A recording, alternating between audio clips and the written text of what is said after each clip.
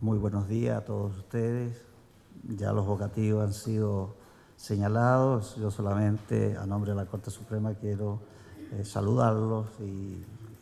desearles a todos aquellos que vienen de otros países que eh, gocen de la hospitalidad chilena. El pasado 10 y 11 de enero de este año, esta Corte Suprema tuvo el orgullo de ser la presidencia pro tempore de un importante diálogo birregional que reunió en Santiago de Chile a Corte Suprema de más de 30 países. Durante una jornada y media, los países asistentes tuvieron la ocasión de reflexionar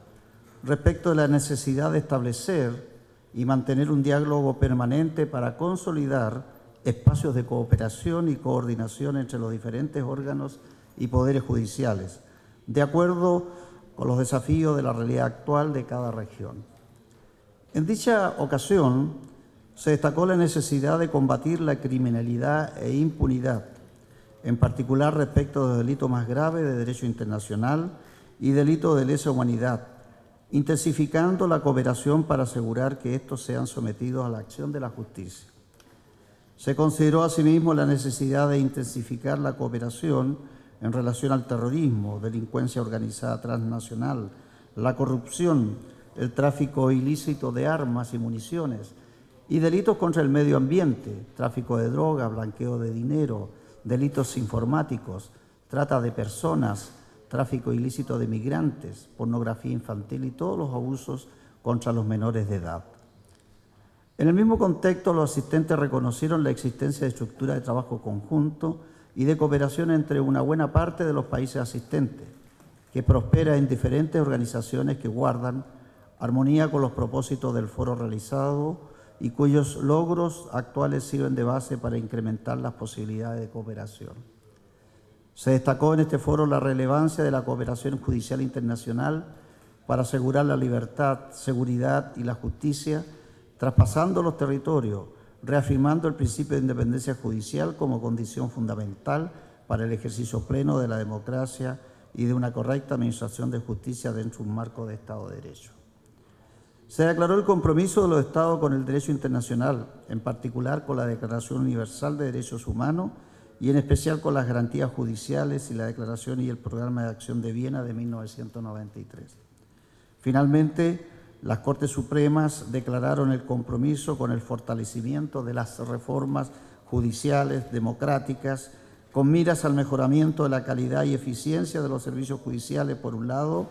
y el reconocimiento y voluntad de los poderes y órganos judiciales de contribuir a la Asociación Birregional de la Cumbre CELAC-UE. En consecuencia, y decidió a profundizar el debate sobre mecanismos efectivos de cooperación y asistencia judicial entre los poderes y órganos judiciales de los Estados miembros, las Cortes Supremas asistentes acordaron, primero, establecer el foro judicial de presidentes de Cortes Supremas y Tribunales Supremos de los países de Latinoamérica y el Caribe con los presidentes de las Cortes Supremas y Tribunales Supremos de la Unión Europea. Segundo, comprometerse a instalar grupos de trabajo con la finalidad de establecer acuerdos mínimos en las materias de interés que puedan ser propuestos a los jefes de Estado y de Gobierno, con el objeto de que se inicien las conversaciones necesarias para llegar a un entendimiento internacional sobre tales materias. Brindarse, tercero, mutuamente la máxima cooperación posible en los procesos de carácter jurisdiccional en especial aquellos que versen sobre materias criminales, civiles, de familia, laborales, comerciales y administrativos. Cuarto, reconocer la comunicación electrónica en el trabajo que se impulsa al interior del presente foro. Quinto, proponer igual reconocimiento de las comunicaciones electrónicas para la transmisión de solicitudes de asistencia judicial internacional de carácter urgente sin perjuicio del envío del requerimiento oficial posterior por la vía que cada legislación nacional contemple e impulsar la utilización de mecanismos tecnológicos para la simplificación y celeridad de sus actuaciones, sin perjuicio de adoptar todas las medidas necesarias para dar seguridad y fe respecto de ellas. Sexto, designar un punto de contacto en cada uno de los países ¿Quién será el responsable de registrar el envío y recepción de la solicitud de asistencia judicial internacional, sean estas de cumplimiento de, de, condenas, cartas rogatorias, exhortos, despachos comisorios, exequatur y extradiciones activas y pasivas. Dichos puntos de contacto mantendrán un estado actualizado de su tramitación, la cual se procurará sea realizada en el menor tiempo posible, usando las peticiones antecedentes complementarios que sean procedentes, en cuyo cometido podrán comunicarse mutuamente en forma directa y por la vía más expedita.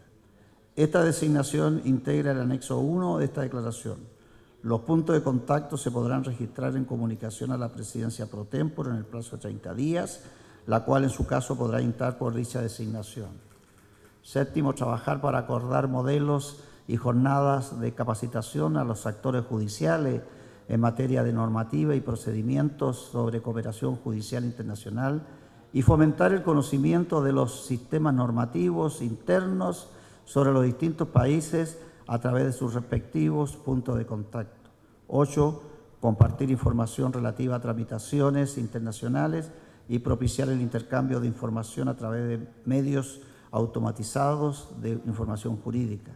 Noveno, impulsar evaluaciones y estudios para la armonización de la normativa sobre cooperación judicial internacional. Y diez, fomentar el desarrollo de actividades para el intercambio de experiencia. Así las cosas,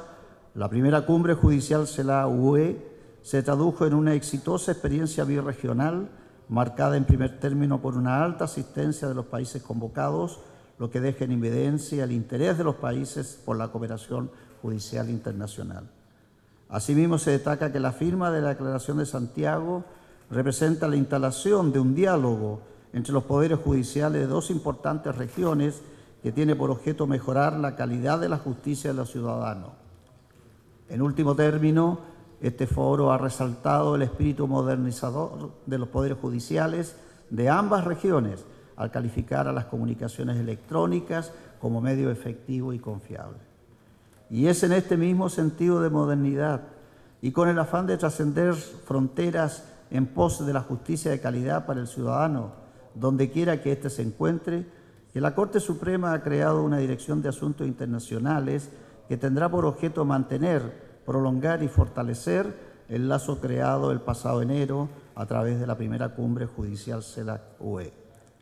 En el mismo sentido y a fin de fomentar la continuidad de este foro y aportar en su proyección, la Corte Suprema de Justicia de Chile ha organizado este seminario que tiene por objeto la reflexión respecto de la cooperación judicial internacional y la CELAC-UE como herramienta eficaz para ella